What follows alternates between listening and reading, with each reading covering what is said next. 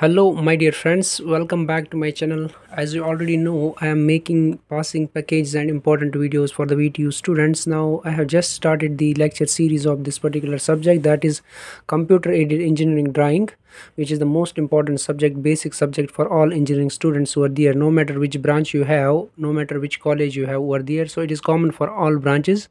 So as you already aware of the uh, relationship between mathematics and physics like uh, mathematics is the uh, what we call language of the physics over there.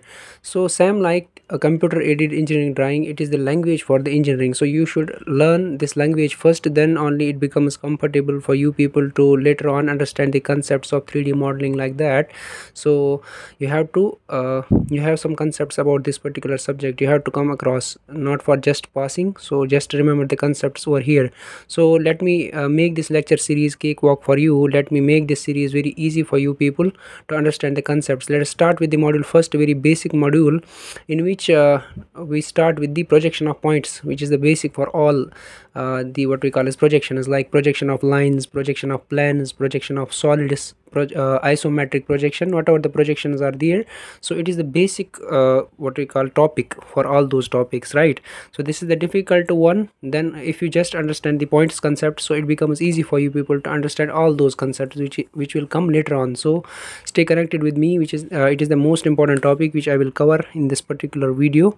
So we have to deal with the quadrant systems as you already know in the mathematics itself uh, as it is in the slc before slc like uh, ninth or eighth class this quadrant system over there. So this is the two-dimensional figure.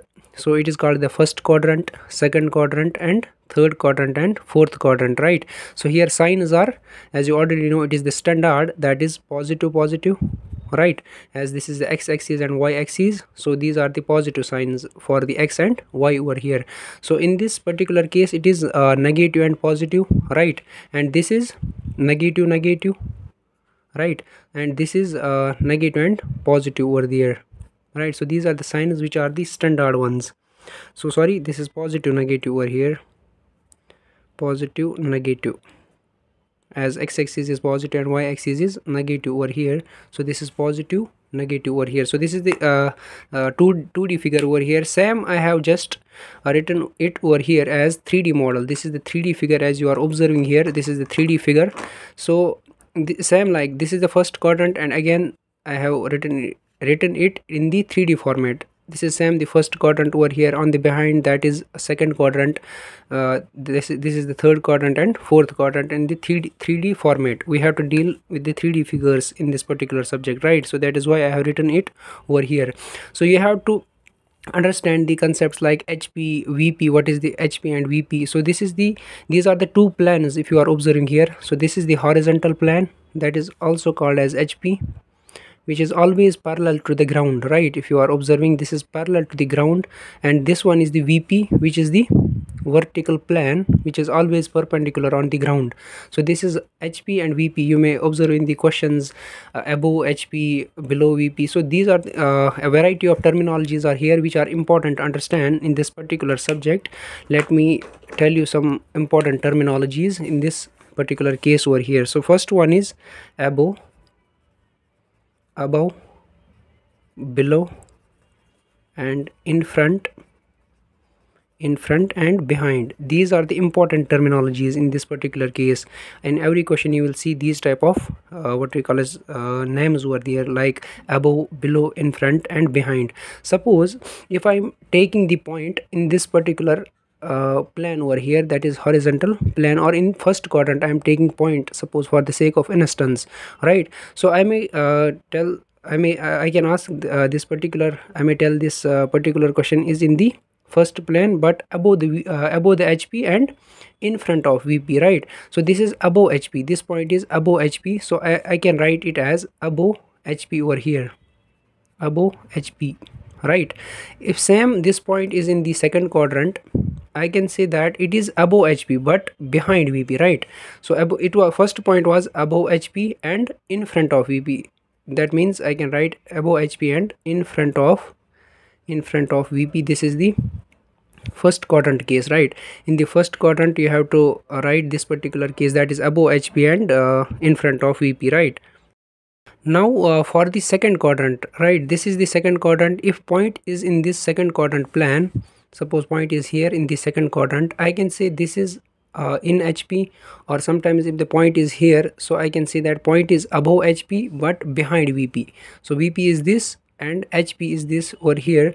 So it is above hp and behind vp right? So in the second quadrant i can write this statement that is behind hp sorry behind vp and uh, above above hp right? So above hp above hp above hp and behind vp is the case for the second quadrant right? Then for third quadrant if you can see over here if you can observe so third third quadrant is here. If i just draw a point in this particular quadrant over here so i can say that this is below hp below hp and behind of vp right? So below hp and behind of vp so i can write below hp and behind of vp behind of vp so these are the important terminologies which you have to understand. So in every question you may say these type of terminologies. Suppose point is above hp and in front of vp there will be some uh, geometry also. Suppose a point is 20 millimeter above hp and 30 millimeter in front of vp like that we have to draw in this case over here. So this was the third quadrant. Then for the fourth quadrant if i just draw a point in this particular quadrant uh, i can say that this is below hp and in front of uh, VP over here right? So if you are observing this is below HP and in front of VP so this is below HP and in front of in front of VP over here. So these are the four cases which you have to remember in this case over here. So these are the important terminologies which you have to remember in this uh, projection of points. So then later on we can solve the variety of questions in which uh, you can see that a point is uh, like uh, i have mentioned it 20 mm above hp and in front of vp so these are the terminologies. I hope uh, you are easily understanding these concepts over here. So these are the important questions like above below in front and behind. These are the important terminologies which you have to focus on right? So this is I will tell you again this is the point. Suppose it is in the first quadrant you can say that this is above HP right? Above HP and in front of VP over here right? Same like if uh, in the second quadrant is the point then you can say that it is behind VP and above HP it is above HP and behind VP over here.